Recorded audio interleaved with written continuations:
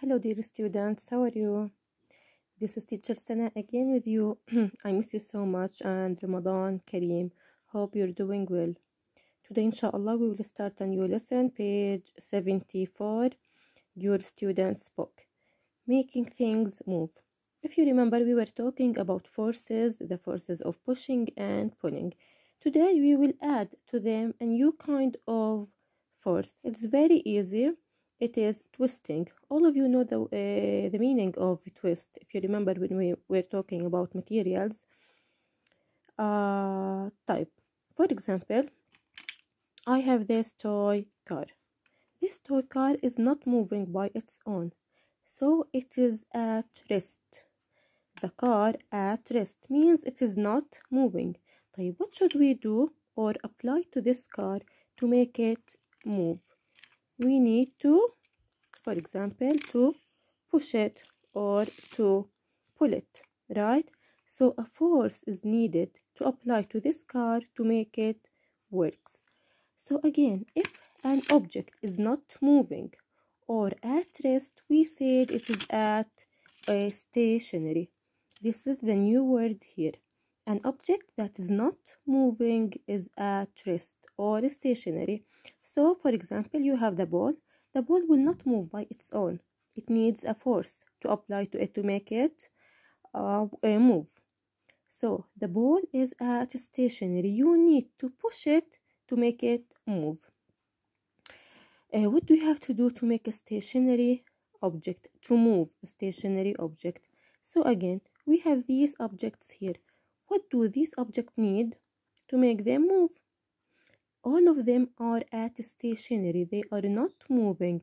So you need to apply a force to them to make them move. You can apply a pushing, pulling, or twist them. Twist objects can make them spin. For example, I have this water bottle. Here it is.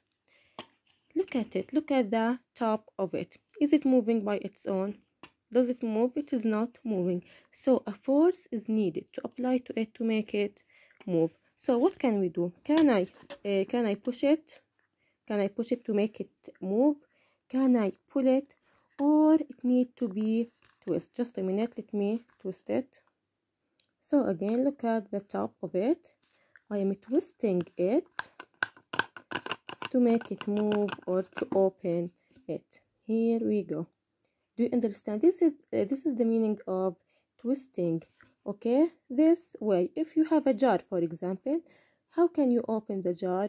By twisting it. All of you know this toy. It's a spinner okay? So uh, how can you play with this spinner or make it works? By pushing it pulling it or twisting it it need to be twist. This is the meaning of twisting. So again pushing pulling and twisting all of them are forces. In the exam if you remember i brought to you this question. Are uh, pulling pushing are they games or forces? Of course they are forces. Uh, let's look at question one. Which toys move by pushing them? Here we have group of toys. Which one need to be uh, pushed to make it move. So the ball it needs to be pushed to make it move. Uh, what else? We have the car. The car needs a pushing force. Uh, we have here uh, this uh, boat. The boat here if you add a rope to it what force does it need? Need what? Pulling. Uh, let's see here this spinner or it looks like a spinner it need to be twist okay so these are the kinds of forces uh, طيب which toy doesn't need you to touch it to make it move so there is a toy here doesn't need you to touch it to make it move it's this windmill inshallah in the next um, lesson we will talk about the windmill and watermill this windmill is like a fan does it need you uh, does it need to be pushed or pulled or twisted you can twist it but it doesn't need you to make a twist. It is uh, by blowing it. You can just blow on it by the wind or by your mouth. You just can blow on it and by blowing on it it will move. So if you give something a little push it will move forward slowly and again I have this car if you just push it slowly it will move forward slowly a little push it will move and if you give it a big force it will move faster يعني faster question 4 what do you think will happen to each object if no force acts on it This car this spinner if no force is applied to them what will happen? What will happen? They will not move. They will stay in again stationary. Do you understand the meaning of stationary? Again stationary they are not moving or at rest. For example i have this gun here.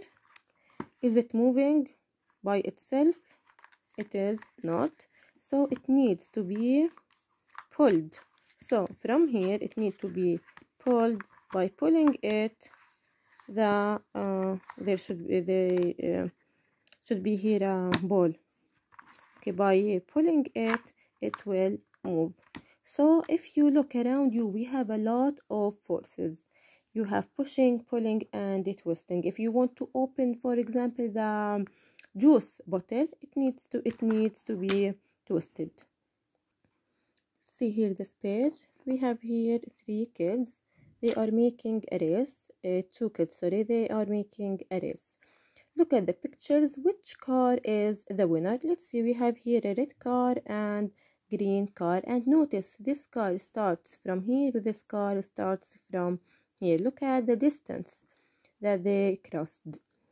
Which car is the winner of course the red car it crossed the line the first one so it is the winner. But the question here is asking you which car has moved the furthest? Yani which car crossed or covered a long distance? Which one crossed or covered a long distance? The red or the green? Of course the green because the green started from here. The boy here gave it a um, uh, he gave it a what? What do we call it? He gave it a bigger force. He starts from here. So again the green car traveled the furthest distance. Which car was pushed hard yes here, here it is. Which car was pushed hardest? Which one was pushed hardest? The green car was pushed hardest. See again start from here and for example like this car if I want to uh, just push it here it is. But if I want to push it hardest I will make like this and then it will move. Do you understand? The same idea. So again the green was uh, the green car it traveled the furthest. Do you get it? Do you have any question? If you have any question you are free to ask me anytime. And your lesson is very easy. You just have to know these two terms stationary and a twist. Again it twist is another kind of forces. Thank you and have a nice day